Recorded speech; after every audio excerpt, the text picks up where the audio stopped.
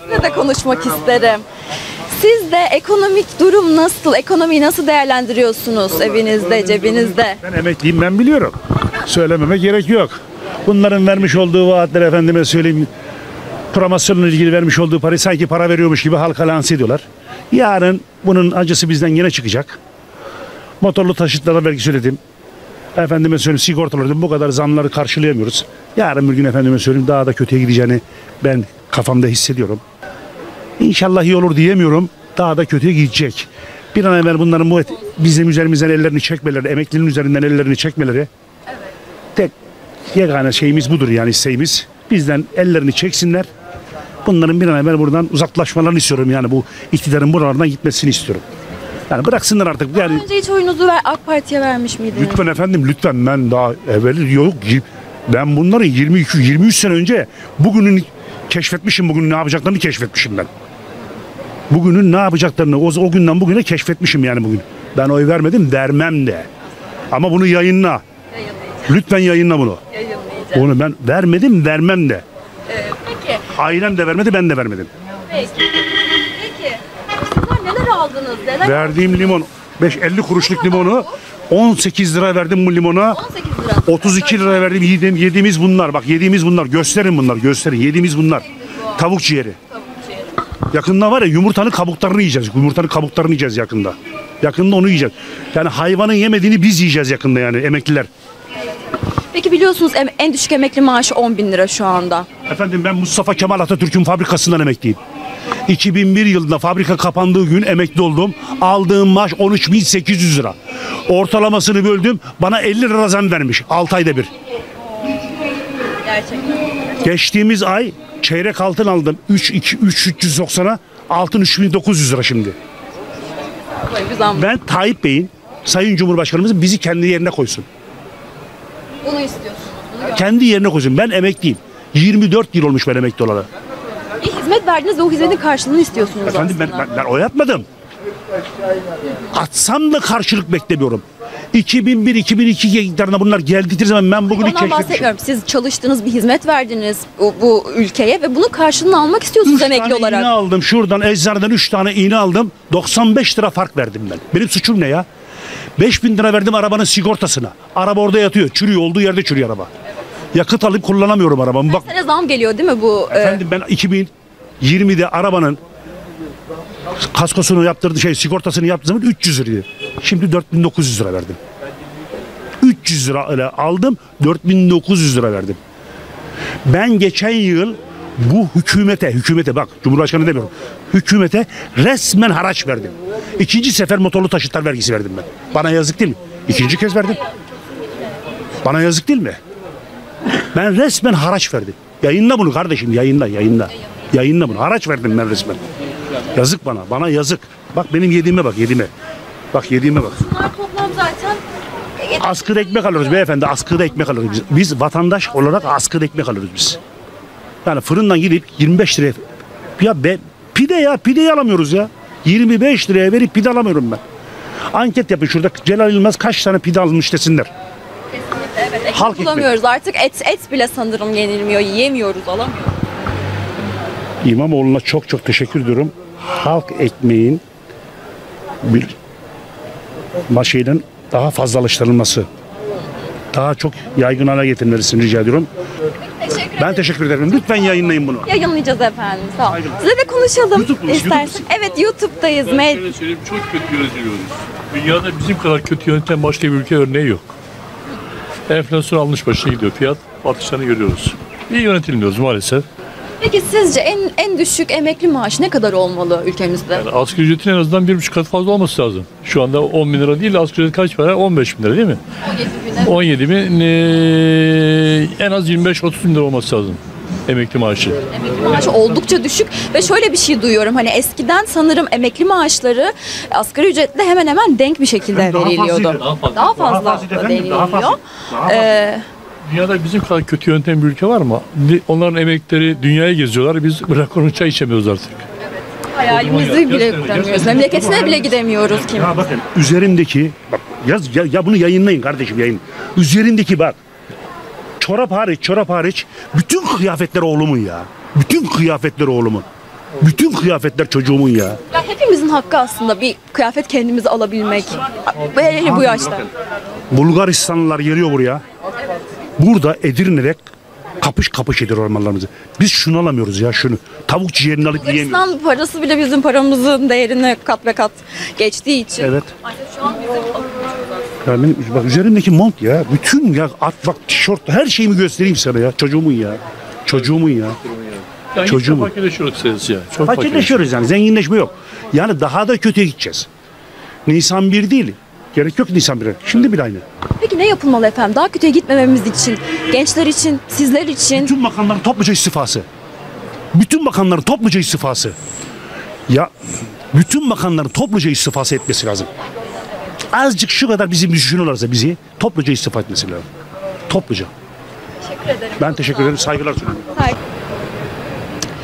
Evet sevgili izleyenler bugün Beykoz'daydık. Vatandaşlarla ekonomiyi konuştuk. em- Emeklilerle emekli maaşını konuştuk. Bunları e, tartıştık. Videoyu beğenirseniz, yorum yaparsanız, abone olursanız çok seviniriz. Sevgiyle kalın.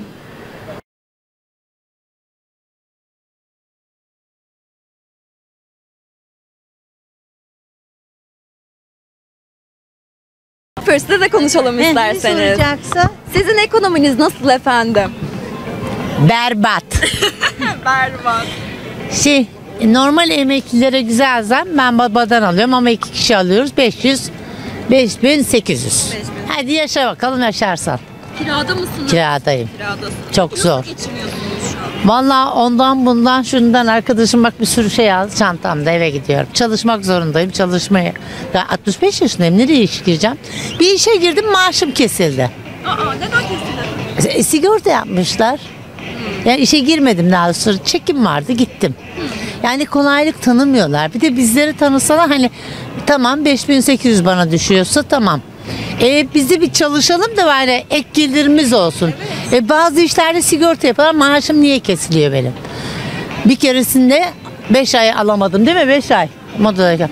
Ondan sonra geçen e, işte 4-5 ay önce bir gittim. E, kesildi. Ben niye gideyim ki o zaman?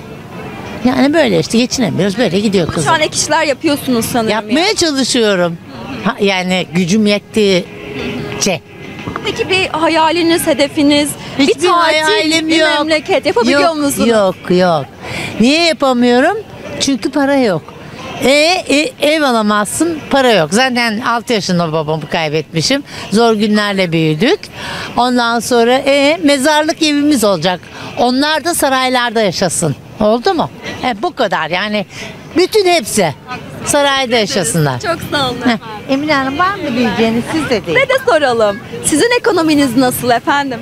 Bir şeyler de almışsınız burada görüyoruz. Evet. Ne haber verdiniz mesela? Eğitimleri Ee, Şeyden İBB'nin pidesini alabildim 10 lira. bana da aldı.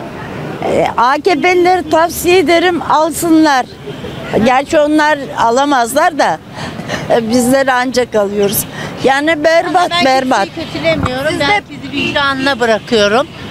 Yeri göğü yaradan Allah'ım herkes yerine koyacak. O mezarlığa da kimse gitmeyecek. Bir çorabını bile getiremiyor biliyorsun. Onun için herkes elini vicdanına koysun. Dul ve yetimlere hiçbir şeyi olmayanlara hiç değilse koca İstanbul, koca memleket küçük küçük böyle bir artı bir odalar yapsınlar, ağaçtan yapsınlar, konteynerden insanları evsiz bırakmasınlar. Bak kira ödeyemiyorsunuz. Ben kira ödeyemiyorum. Bana versin bir konteyner ya da bir karavan alsın. Bize karavanda yaşayalım. Devlet versin bir şey yani. Mezara gidin. kendi cebini doldurmak için gelmiş. mezarlık var değil mi? Ha, onu verecekler bize o kadar. Devlet, e, hükümet sadece cebini doldurmak için, ülkeyi mahvetmek için gelmiş 25 senedir. Kimse buna bir dur diyemiyor. Niye diyemiyorlar anlamış değiliz yani. Evet, bazıları çok memnun olduğunu söylüyor. 10 bin lira emekli maaşı bile yettiğini söylüyorlar. Allah Allah. Bazıları diyorlar ki asla yetmiyor doğal olarak. Nasıl yetiriyorlar o zaman bize de söylesinler. Daha ben geçen ayın e, şeyini ödeyemedim, doğalgazını ödeyemedim. İkinci geliyor üstüne. Faturalarım yığılı buzdolabında yapışık bekliyor. Kim ödeyecek bunları? Tayyip mi ödeyecek? Nasıl? Yani bizden kestiğini kendi yandaşlarına yediriyor. Allah kısmet olmasın yemeğe. Her, her zaman duamız bunlardır. Allah onlara oy verenlerin de elleri kırılsın. Hiç mi sefalet çekmiyorlar ya?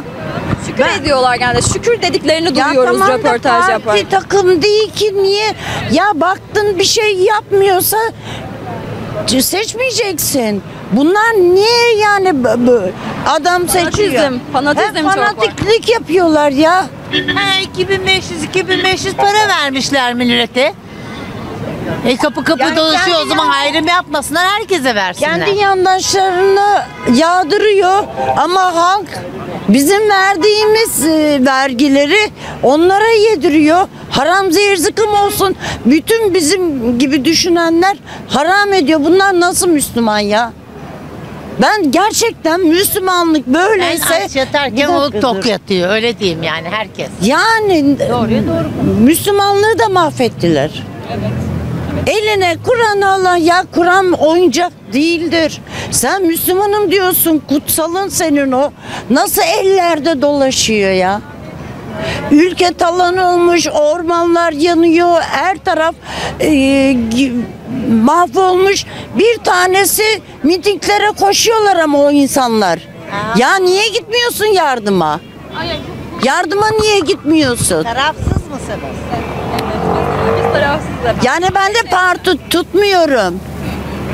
Benim için hepsi aynı, hepsi aynı. O koltuğa kim oturuyorsa kalkamıyor bir türlü yapışıyor orada. Ama halk bunu bilmiyorum yani niye? Niye? Hayırlısı olsun diyelim efendim. Artık hepimiz Vallahi için. hayırlısı hayırlısı yok ee, Ben güzelim şey bundan ee, yani sonumuz iyi değil bu kafayla giderlerse sonumuz hiç iyi değil ülkeye.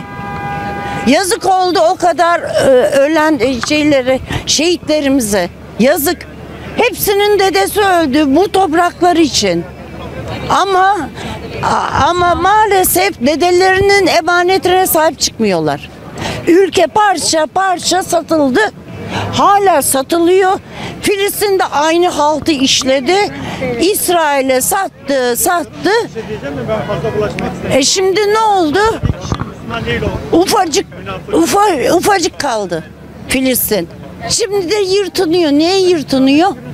Zamanında niye şey olmadın? Tutmadın toprağını. Aynı bizim de öyle.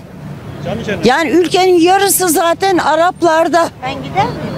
Ben anlamıyorum. Her taraf Arap dolu. Araplar memleketlerinden kaçıyor. Yani her iş- ülkeden. Ama bizimkiler onlara heves ediyor. Ya geliyorlar burada kabak çiçeği gibi açılıyorlar. Ben gerçekten anlamıyorum ya. Sizin için ekonomi nasıl? rezil, işler acısı, insanların bittiği, fakirleştiği, yok olduğu bir dönem yaşıyoruz şu an. 2024 yılında. Recep Tayyip Erdoğan her defasında biliyorsunuz 2023, 2024 gibi hedefler koyuyor. Yani işte 2051 diyor, 2071 diyor. Hani bu Recep Tayyip Erdoğan'ı şuna benzetiyorum.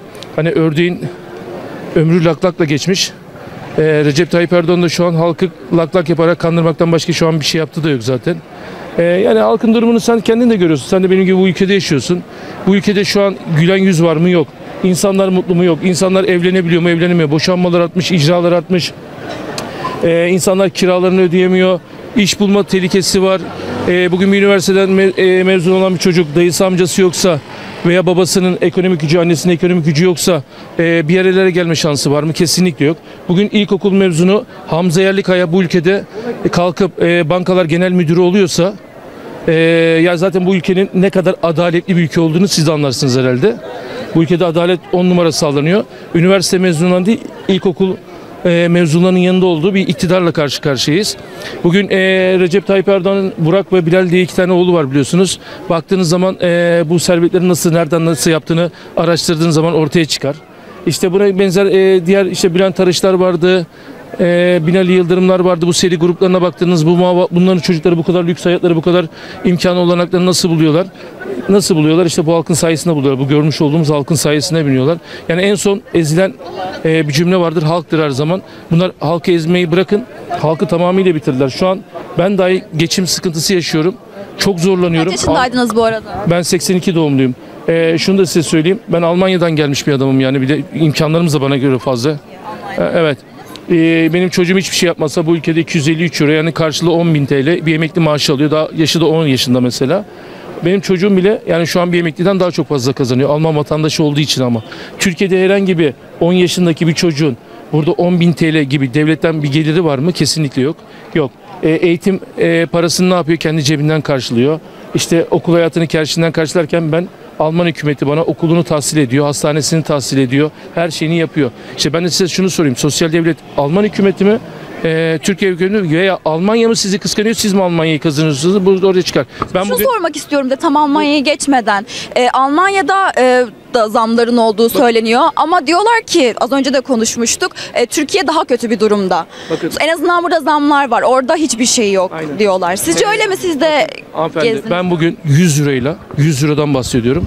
100 lirayla e, herhangi bir markete girdiğimde shopping marketlere girdiğimde yani bugün e, 8 euro bir kıymanın fiyatı işte 13-14 euro civarı pirzolanın kilosu e, de 100 euroya neler alabileceğiniz matematik olarak yapın zaten. Buradan bile pay çıkabilirsiniz. Bugün gittiğin zaman 100 euroyla yani bir günlük yövmenden bahsediyorum. Yani 2 kilo kıymanı alırsın. 3-4 kilo pirzolanı alabiliyorsun veya 5-6 kilo pirzolanı. Yanına da bir de meyve gruplarını alırsın. İşte kolanı alırsın, ekmeğini alırsın, suyunu alırsın. Alırsın da alırsın. Tamam mı?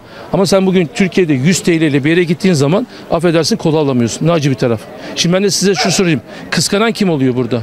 Batan kim oluyor? Ben bugün Almanya'da iki sene çalışmadım. Ama hükümet sosyal hükümet bana destek verdi. Ev kiramı ödedi. Çocuk yardımı yaptı. Çalışmadığınızda, işsiz Evet, iki olduğunuzda sene- bunu iki sene Ben yaptılar. çalışmadım. İki sene çalışmadım. Ee, benim kiram ödendi. Çocuğum e, zaten 10 yaşında olduğu için e, şey parası çocuk parasını da aldı. Artı e, müracaatlarda bulundum. Yani sosyal olarak müracaatlarda bulunduğumda bana market e, imkanlarına kadar sunuldu. Ben de şurada size sorayım. Şu an bu Türkiye Cumhuriyeti'nde yani uçtuğumuz, kaçtığımız dünya liderinin ülkesinde bunu bugün sosyal devlet kimin arkasında duruyor? Net sana söyleyeyim ki hiç kimsenin arkasında durmuyor. Bugün depremzedenin arkasında bile durmayan bir hükümet var. Depremzedeye verilen sözler neydi? 10 bin TL kira yardımı, 100 bin TL işte taşıma parası vesaire vesaire gibi cümleler vardı. Ki onu da bırakın depremzede bugün her şeyini kaybetmiş bir insan grubudur mesela değil mi? Bugün e, depremzedeye şunu özellikle soruyorum. Bir ev veriyorsunuz 2 trilyonu. Bunun 1 trilyonu devlet, 1 trilyonu siz karşılıyorsunuz. Depremden çıkmış bir insan 1 trilyonu nereden bulabilir? Ben Malatya Doğanşehirliyim. Deprem bölgesini yaşadım. Babam şu an orada. Mesela size şunu söyleyebilirim hanımefendi. Ee, babama biçen para 2 trilyon biçmişler. Yeni TOKİ binalarında. Babamdan 1 trilyon üstü. Şimdi benim babam 10 bin TL emekli maaşı alan bir kişi nasıl ödeyecek? Bana anlatabilir misiniz formülünü? Eğer bugün herkesin cebinde 1 trilyon olmadığına göre demek ki siz bu işlerden muaf kalacaksınız. Parası olanlara yanıyor. Bugün TOKİ'de ev kimlere çıkıyor? Ya Suriyeli ya Afganlı olacaksınız ya da eee milletvekili, bakan veya bakan çocuklar olacaksınız onlara veriliyor. Bugün eğitime bakın kimlerin eğitim aldığını görürsünüz. Merve Kabakçı'ndan başlayabiliriz böyle sıralama gider. Merve Kabakçı'nın da bu ülkeden neler götürdüğünü siz daha iyi bilirsiniz ben de iyi bilirim.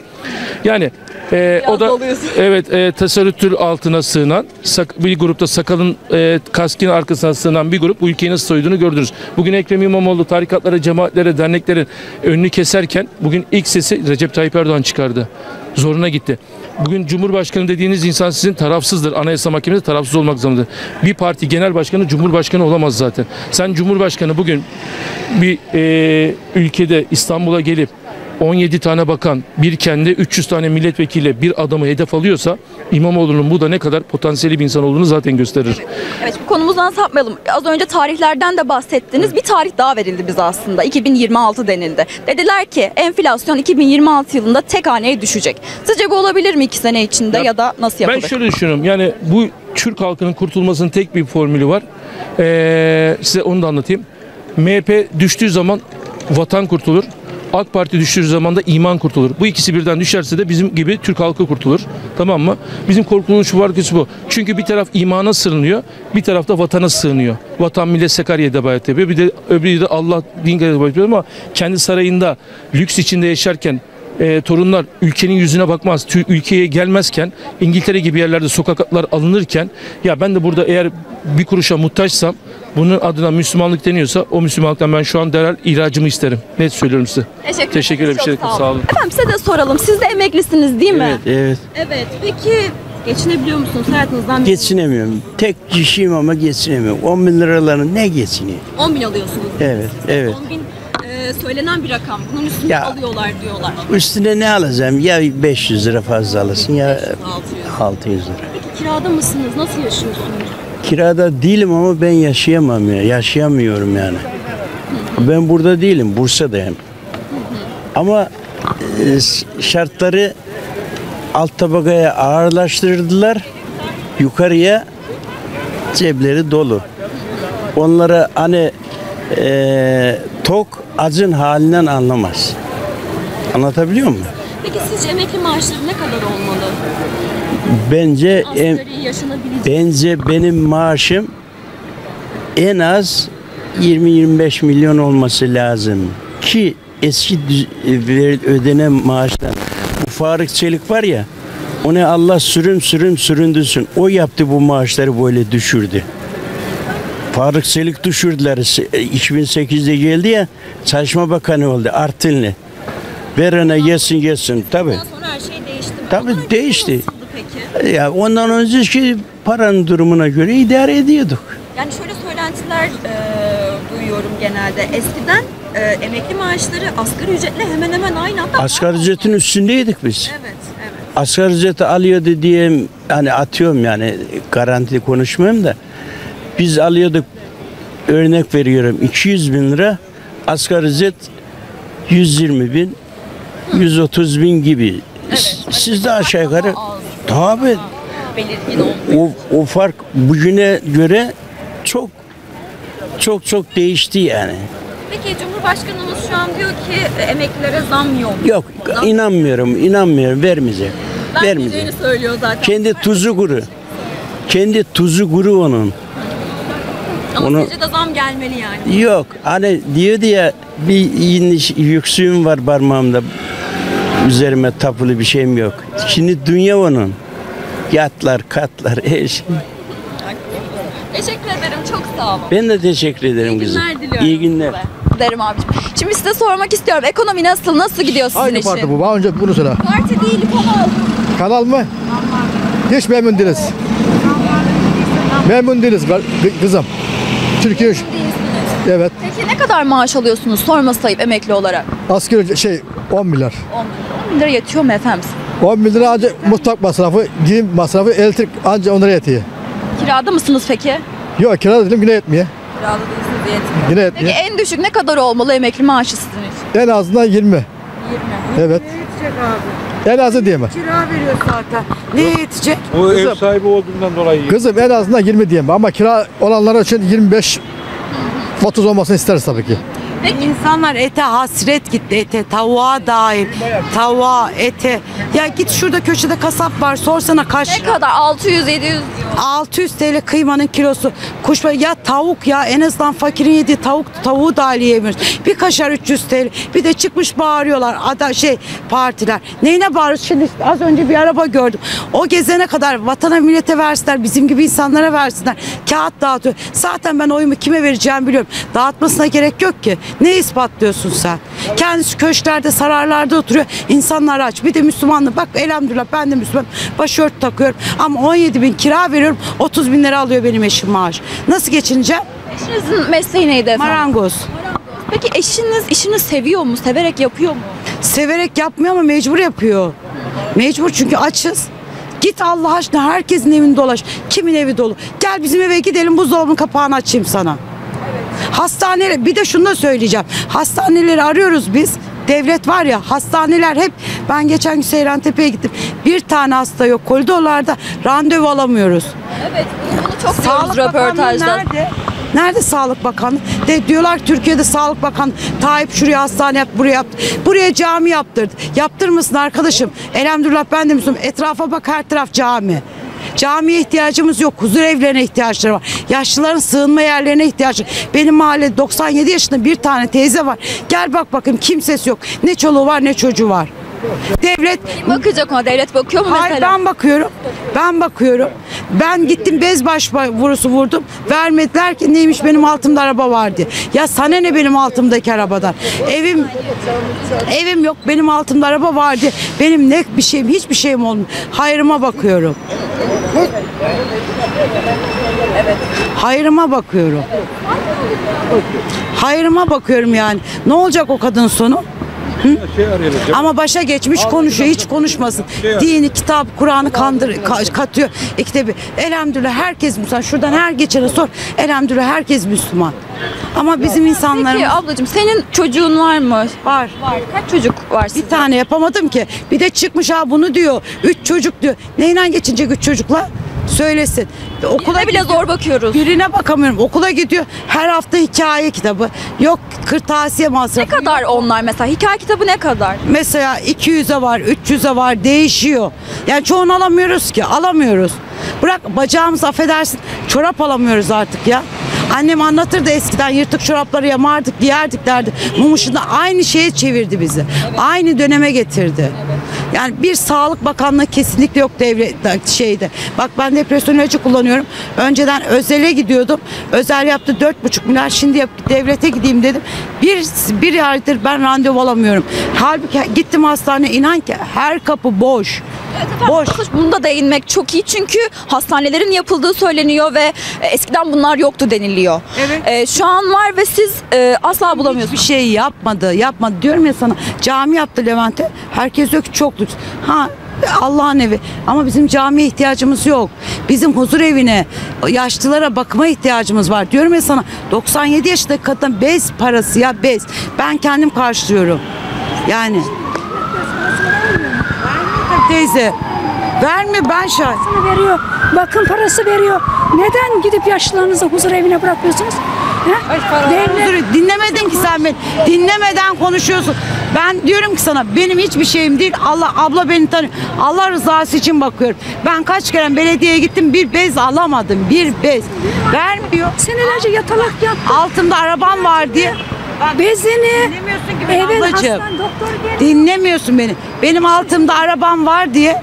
Benim altımda mu? Benim eşim de böbrek hastasıydı geldi. Vallahi heh, nasıl şanslı. Vallahi şanslı. Yazıklar olsun. Kardeşim Yazıklar olsun. benim Bir şey kardeşim söyleyeyim kalp krizi geçirdi. Bir şey Bir, dakika bir şey söyleyeyim. Bir dakika. Ne demek Kardeşim ne yaptı? Ne yapacak size? Bu nankör insanları doyuramaz. Namkör esas onu sizsiniz abla ne yaptı? Bu depremler, bu felaketler, bu Türkiye'nin başı. Yazık. Adam hiçbir şey yapmamış, yapmamış. Yazıklar olsun. Hala, Yapmamış. Hala benim Yapmamış. kendisi söylemedi mi Sayın Benim Cumhurbaşkanımız? kızım Hatay'da depremde- Cumhurbaşkanımız Yaşa- ne dedi?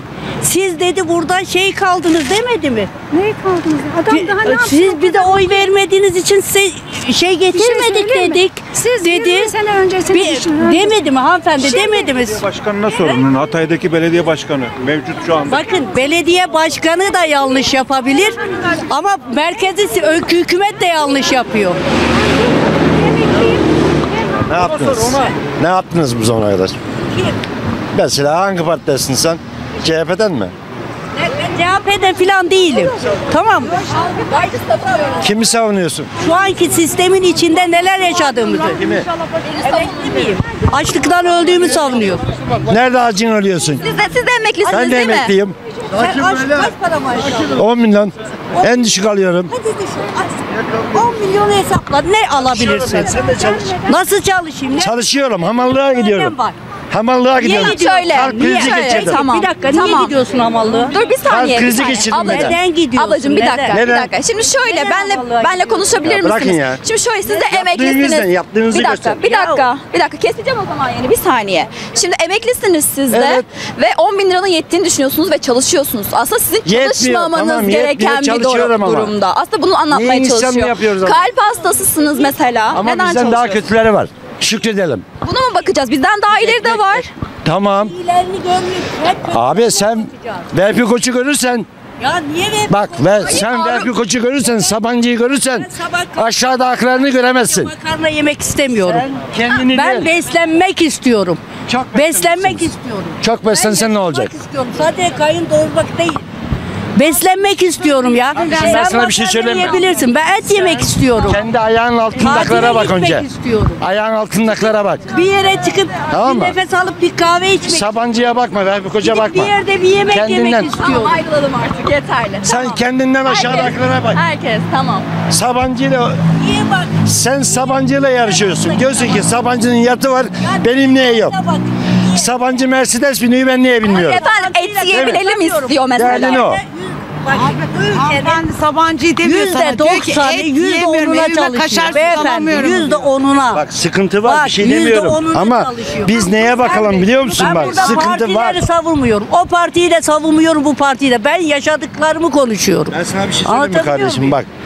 Tamam. Niye daha güzel yaşamak Tamam, istemeyelim? güzel bir şey. Tamam, Niye istemeyelim? yaşayalım ama Ya sen kalp krizi geçirmişsin. bak be evet kardeşim. yine de çalışıyorum. Bak niye? var abicim. Niye? Niye Ya çalışıyorsun? ya, ben de Sorun da bak, burada. Evet, kalp krizi şey geçirmişsin. değil. Ama 40 yıl çalışmışsın. yukarılara bakmayalım. Aşağıda aklara da bakalım. Abi Ya aşağıda aşağıda aşağıda. Ya.